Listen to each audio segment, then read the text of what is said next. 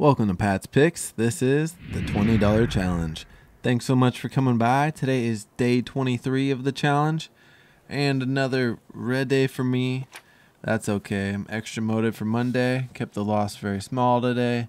Was very close to it being green, but um, I made a mistake. So there you have it. Minus 10% on the day.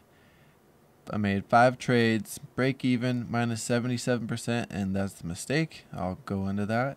Minus 20%, plus 83%, and break even again. So, as you can see, a little bit of everything today for me.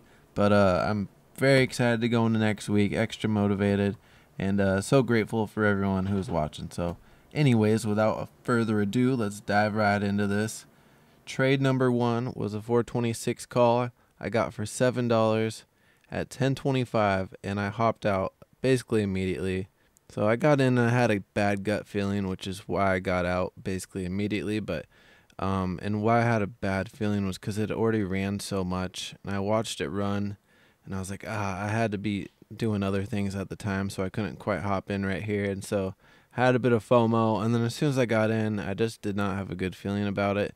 And so I sold it almost immediately for break even and um and I was break even pretty quick. So another great thing about trading the book so closely is is getting it out at the same price you got in almost immediately because of those times like that. So I saw that I could get in and out quickly and that's exactly what I did. So FOMO got me there and then it got me again about um 20 minutes later I got the 426 call again at $9 when I saw it look like it wanted to rip through 416 and I was hoping for a move.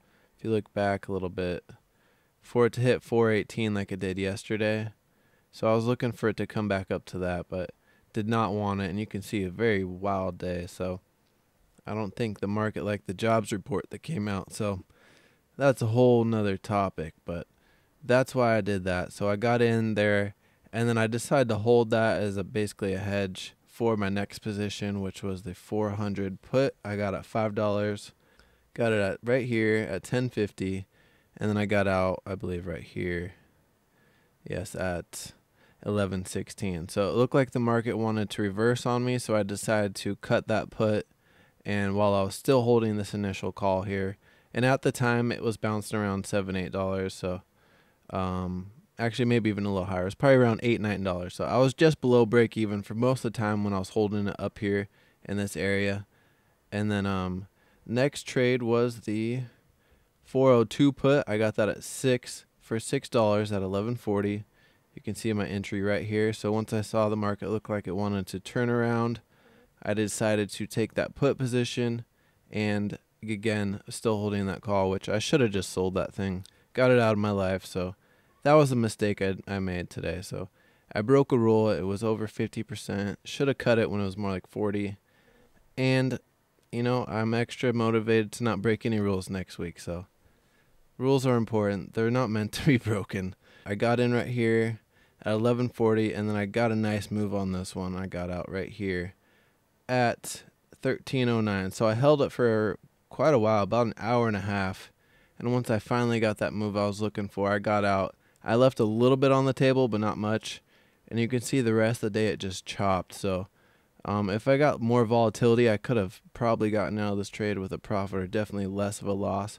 But because this drop was so aggressive right here, it went from like around six dollars or five dollars to two dollars in this um, you know 10 minute time frame. So um, at that point, I just decided to hold on to it while it was at two. I didn't want it to go to one, but it was at two, and so I was just waiting to see if the market wanted to come back up for 416 in the meantime, and it did not.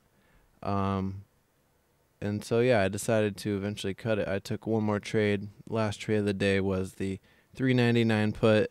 I bought at 1342, and then I got out after a while at break even. So um, I was grateful to get out break even right there because the market was so choppy. Obviously, I wanted to move on it, but did not quite get it. And so that's just the way it goes today. So kept the losses small, which is very important. And uh, I'm excited for next week to see what the market wants to do, see what direction we're going to head. You know, after the last couple of days of these wild moves, maybe we'll go back up to 419 or maybe we'll come back down. So I don't know. It's kind of fun to look. if you guys don't um, zoom out and look at the chart, I definitely encourage you to do that just to kind of get an idea of what you think it might do. You can see I have all these levels marked out as support and resistance. And uh, I might touch base on what I think the market will do next week on my recap video. But, anyways, that's what I have for today. Again, it was red minus 10%. Not happy about it, but it is what it is. I'll make it back. It's all good. Oh. So, anyways, that's all I have for today. And I hope you stay happy and healthy. I'll see you tomorrow.